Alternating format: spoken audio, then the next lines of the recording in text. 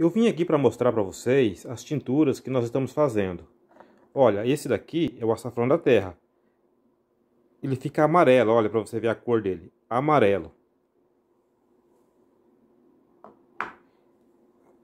Esse daqui eu fiz de mucuna, esse aqui é o que eu vou, vou, vou filtrar.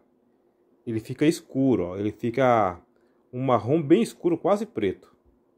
Olha para você, fica, fica uma cor diferente. Os ativos da planta saíram todos, estão na, aqui, nessa, nesse álcool de cereais aqui, ó. Esse daqui, vocês não vão conseguir perceber no vídeo. É erva botão. Olha para vocês verem, é erva botão. Mas essa planta aqui, ela fica um azul, um verde azulado, muito lindo. É a erva botão, ó. Pra você fica bem escuro também. Fica meio azulada, é um verde muito bonito. Mas o que me chamou a atenção, eu nunca tinha feito, eu fiz aqui, ó. Babosa. Olha para você ver que impressionante. Ficou... Dividiu em duas cores, ó. Nós fizemos uma tintura de babosa. E a intenção minha é vou usar essa tintura para fazer um creme. Fazer um creme para o corpo. Porque a babosa é muito, muito maravilhosa, né?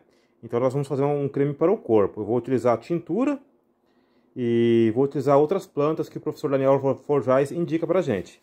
Mas veja que cor linda que ficou.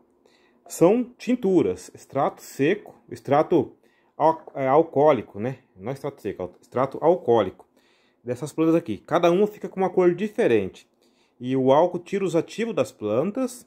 E nós utilizamos a tintura na, na água, pingamos na água e fazemos os tratamentos com muita eficiência. Viu só que legal? Você já tinha visto a cor da babosa? Olha para você ver. Muito interessante, né? Fala para mim o que, que vocês acharam.